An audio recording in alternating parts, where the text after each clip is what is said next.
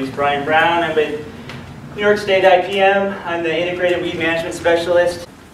So I cover not only weed management in but also field crops, vegetables, and ornamentals. Uh, and I must confess that my background is primarily weed management in vegetables uh, and some in field crops. But a lot of the a lot of the same principles carry over to fruit, especially strawberries. Uh, so I'll, I'll be going over some of those principles early on, and then uh, later go over some of the specifics related to matted row uh, strawberries. So just to start off, uh, let me see a show of hands of who has ever let a weed go to seed. okay, all right. so yeah, I was curious about the effects of, of letting weeds go to seed, and so actually in one of my trials of, in a field of onions, I purposefully let uh, a few of these plots uh, let the weeds go to seed.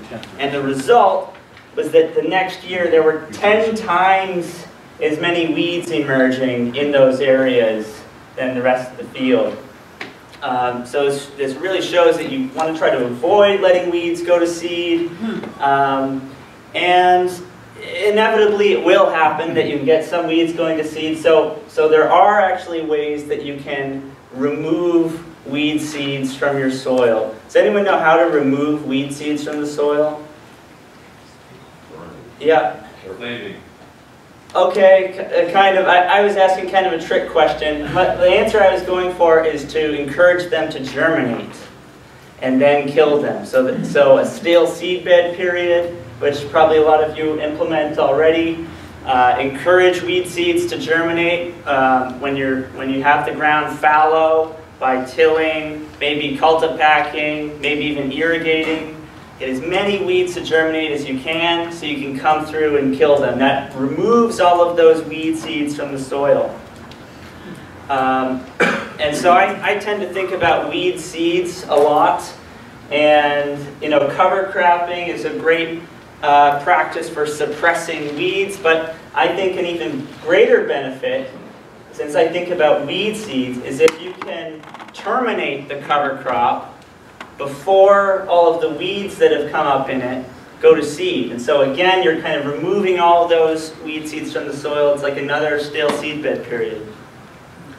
Uh, so crop rotation, I think, I think if you can adjust your crop rotation a little bit to allow for some longer fallow periods where you can do these stale seedbed periods. Um, you can really draw down the number of weed seeds in your soil. Um, if you can't do that, some, some shorter season crops like salad greens, I mean, there's not many weeds that have time to set seed by the time you harvest and till in salad greens. And, and there's some other crops like short season crops like that. Um, and so it's kind of another stale seedbed period. But really, I mean, strawberries, especially perennial matted row strawberries, are difficult for weed management. So in your crop rotation, you want to be rotating into something that's easy, something like corn or soy, um, where you've got different herbicides. There, there's um, different uh, tillage dates. They compete with the weeds better. And so all of these things can kind of um, prevent the types of weeds that, that tend to dominate in strawberries from uh, dominating in these other crops. So you can kind of get a handle on them with crop rotation. So uh, in speaking with, with some of you, it seems like perennial weeds are a real issue for, for, uh, for perennial um, strawberry production. And um, I think it helps to think about the biology of the perennial weeds and looking at controlling them. A lot of them have these, these rhizomes or underground um, storage reserves that get them through the winter. And so if, if you're looking at trying to uh, select herbicides to tackle these weeds, you want to be looking at systemic herbicides that are, get translocated down into the roots to attack these storage reserves. Uh, so glyphosate and Roundup uh, tends to be most effective there. For organic growers, um, it's a lot harder. You've got to keep attacking these underground storage reserves by repeated tillage, and it can take a, a fallow period of, of a few months to really draw down those, those storage reserves. If you are kind of drowning in perennial weeds, but you still want to do strawberries, I'd recommend uh, day neutrals, uh, which grown as annuals. You can use you can use the tillage and the Roundup before and after the season um, to get a better handle on those perennials. Um, and then the black plastic doing a fair amount of weed suppression there as well.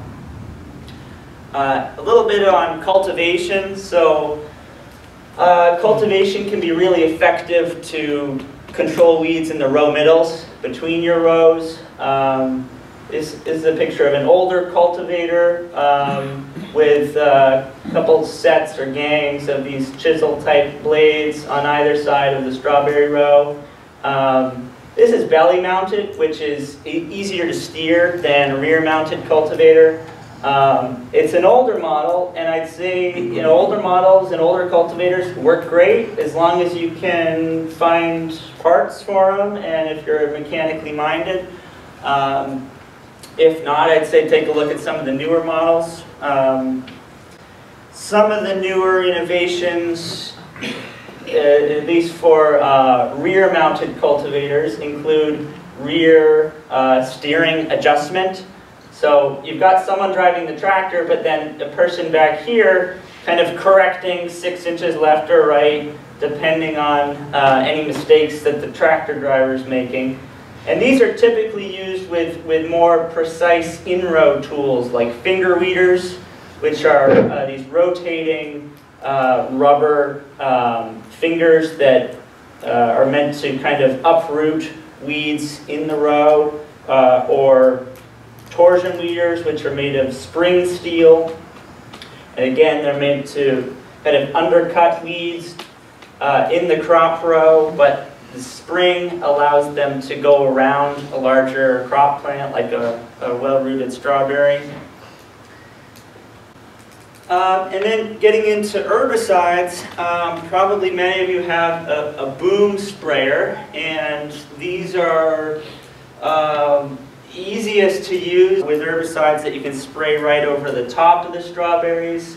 And so we've got a few options there. Um, we've got some pre-emergence options, Devrinol and Dacthal. Um, a little bit stronger on grasses, I'd say. Sinbar, another pre-emergence herbicide, a little bit stronger on, um, on broadleaf weeds. Uh, for post-emergence, we have some grass weed herbicides and then Stinger for um, broadleaf control. Um, and for those of you with a hooded sprayer, uh, you, you, there are a few more pre and post options. Uh, or a wick applicator can let you apply post herbicides um, directly to the weeds without worry of, um, of getting any on the crop. Um, and so with, with a hooded sprayer or a directed application, you can use uh, for pre-emergence, Goal, Chateau, and Prowl. Um, and you can also use these on the dormant strawberries, so in early April or late November. Uh, and then with post, um, AIM has some post activity. 2,4-D uh, is a broadleaf herbicide that, I, that can also be used on um, the dormant berries. Scythe, Gramoxone, Firestorm, those are, are contact herbicides. So they basically kill the parts of the plant that are touched. Um, in thinking about which herbicides you want to use, I think it's, it's, it's worth thinking about this issue of herbicide resistance, which is becoming a big issue in other parts of the U.S. and is, is becoming a bigger problem in New York. Um, herbicide resistance develops when growers over-rely on one type of herbicide and use it year after year, again and again, maybe multiple times a year. Um, and so to kind of combat that, uh, the Weed Science Society of America, WSSA, has, has promoted this um, group numbering system in which they've grouped herbicides based on uh, how they actually act in the plant, um, and they've given the different groups uh, numbers. And so, um, based on their system of the different numbers, and they're in different colors here, growers can select herbicides that use different modes of action, and uh, in that way they can delay the onset of herbicide resistance. And um, if if you're wondering where to find information about um, these WSSA group numbers, they should, uh, they're more and more commonly being listed on the herbicide label, uh, but if they're not, you can take a look at your handy dandy Cornell Pest Management Guidelines for berry crops, and there's a great table that lists the group numbers for most of the berry herbicides. And it also lists uh, most of the common weeds and um, has a nice table of the control efficacy um, for those herbicides.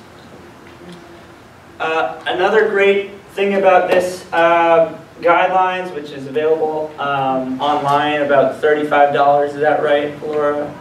Um, yeah, around there, maybe 40 um, is there's a table of um, kind of a suggested um, starting plan of, for um, herbicide and cultivation control, the timeline. And I've kind of boiled it down here.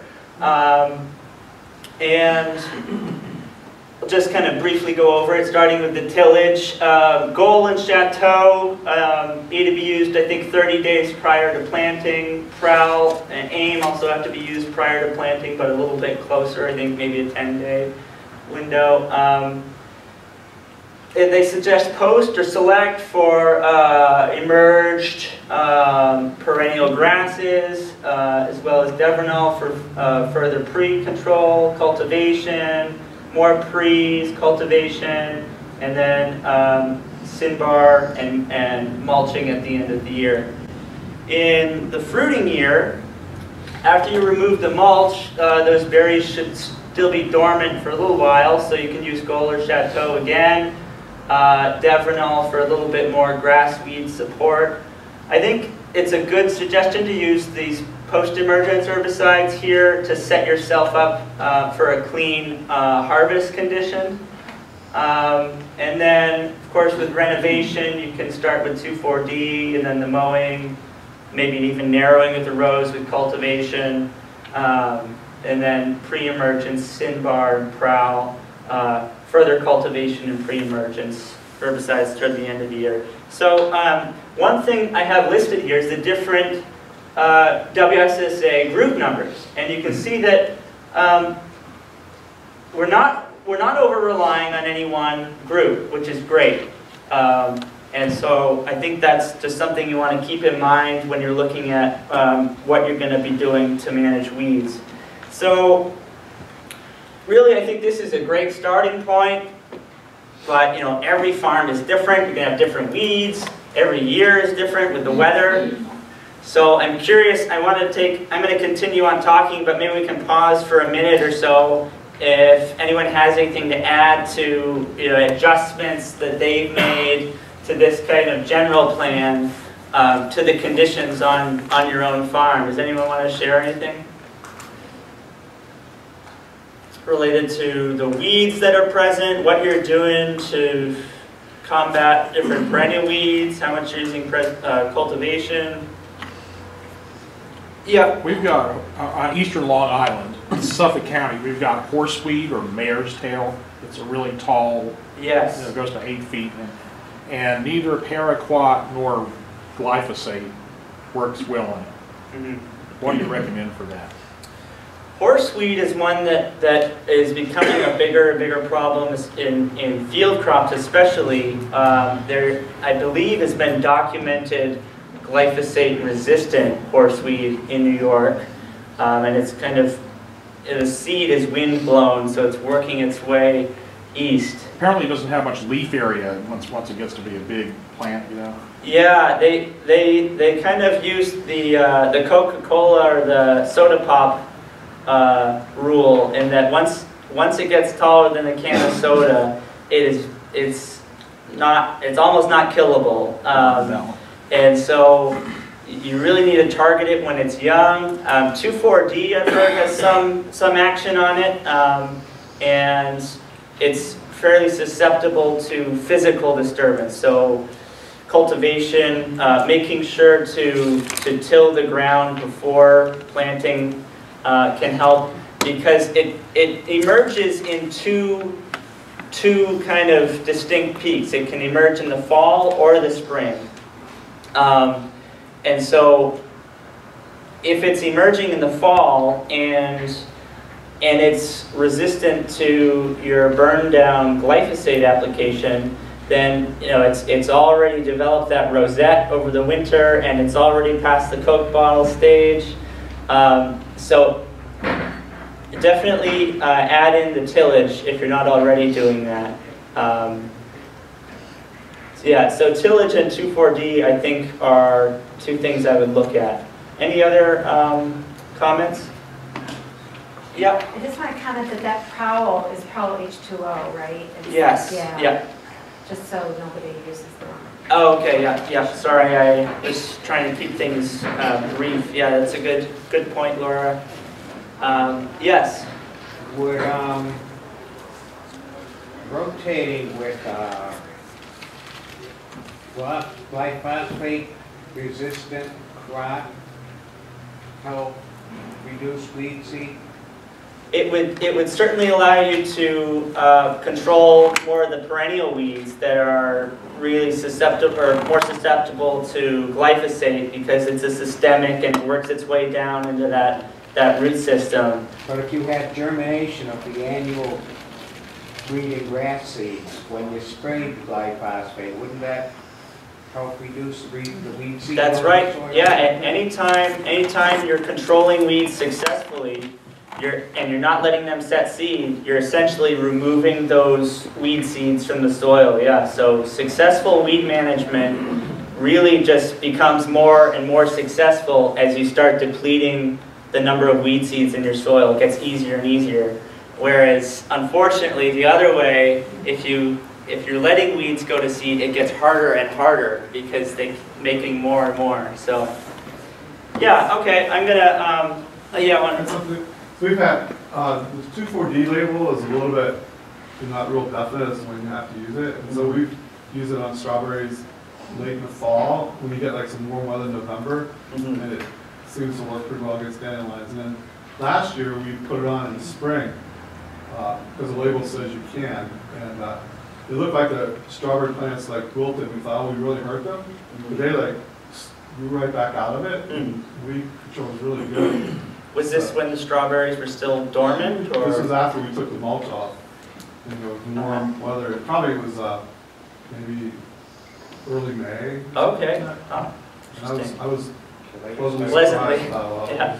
they came Huh. back, so anyway. okay. Yeah, uh, any, any final comments?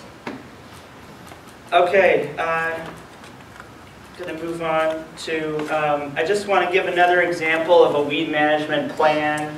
Uh, This is Shenk Berry Farm in Pennsylvania. Uh, I've been speaking with John Shenk, um, and as you can see, he grows vegetables uh, in addition to the berries and some field crops. Uh, John has an, an excellent crop rotation. He, he wants, he's aiming for five years between strawberry planting. So he finishes up his strawberries here in year zero, then he goes into sweet corn, um, which, you know, before and after the sweet corn lets him spray glyphosate, get a hold of some of the perennial weeds. Then he moves into either alfalfa or maybe, maybe soybeans, some kind of legume. Um, that he can, he can continually mow the alfalfa and get a hold of some of the, the annual weeds that uh, resulted from the years of strawberries. Uh, follows that with winter rye, which he then um, harvests for straw mulch to use in his strawberries. Um, and then follows that with sorghum Sudan grass, a hybrid that does not set seed, not produce seed in the first year. He mows that in August when any um, annual weeds in it might be ready to set seed. Um, so he mows that to prevent that from happening. The sorghum Sudan, I believe, bounces back but then is winter killed. Um, and so there's still some kind of stubble and stumps left over, so he comes in and cultipacks while the ground is still frozen in the next spring. And then he no-till, transplants strawberries into all of that sorghum Sudan grass residue. And so that, that residue really provides a lot of weed suppression in April. He, he, he puts on um, Prowl H2O, um, but he probably could get away with it because of all the weed suppression by the residue. Um, another good thing that John does is he scouts. He waits until the Prowl H2O to kind of wear off, maybe some, some thinning or some holes in the residue, let, start letting weeds through, and then he'll come through and, and start cultivating. Um, I think it's a good idea to follow the cultivation with a pre-emergence herbicide because um, you know often cultivation can stimulate some weed uh, germination. Um, some more pre-emergence herbicides uh, in August. Cultivation, he uses Stinger um, to control some of his thistles. And then Chateau in the fall. You can only use Chateau once a year, I believe. And so he, he would prefer to use it in the fall on the dormant strawberries in the fall rather than in the spring um, because of his winter annual weed problems. Following year, he removes the mulch. Uh, the Devrinol gets him through harvest. He's still got quite a bit of crop of uh, sorghum Sudan residue um, and the mulch residue. Um, the same renovation procedure as I talked about earlier.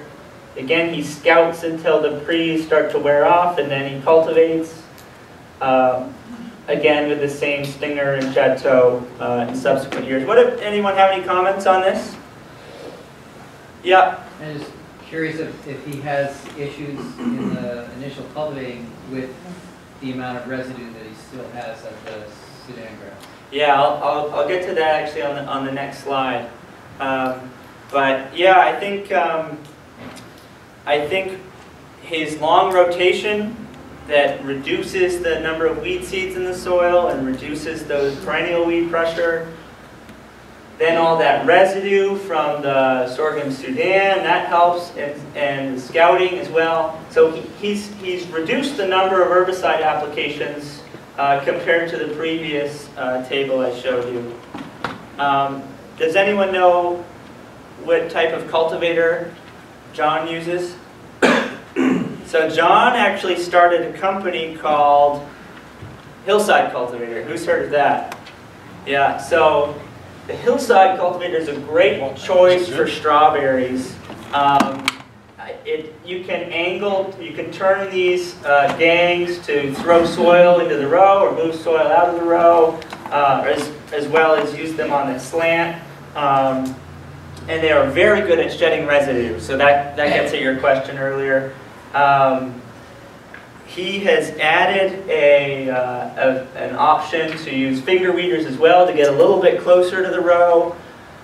But still, it's not, there's no rear steering, so it's just the tractor driver steering it. So you can't, you can't be so precise, but it's not such a big deal if you're, if he, you know, he likes to narrow his strawberry rows anyways in the fall. He likes narrow rows so that he can control more of his ground, a greater percentage of the ground with cultivation. And he thinks that the narrow rows give him better airflow.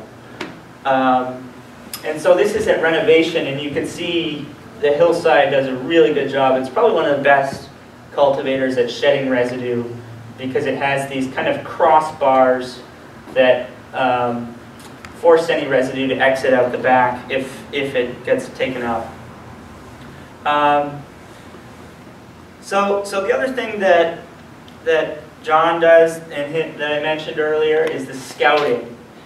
And so the scouting is used to uh, determine which weeds survived the previous control efforts and which new, new weeds are emerging. Um, scouting efforts typically involve going out with some kind of sketched map of your field, uh, taking notes on the weed species that are present, the severity of, you know, how, um, how severe the um, infestation of weeds is for each species, and their growth stage, how big they are. Um, so all of that information gets factored into your, your management decisions.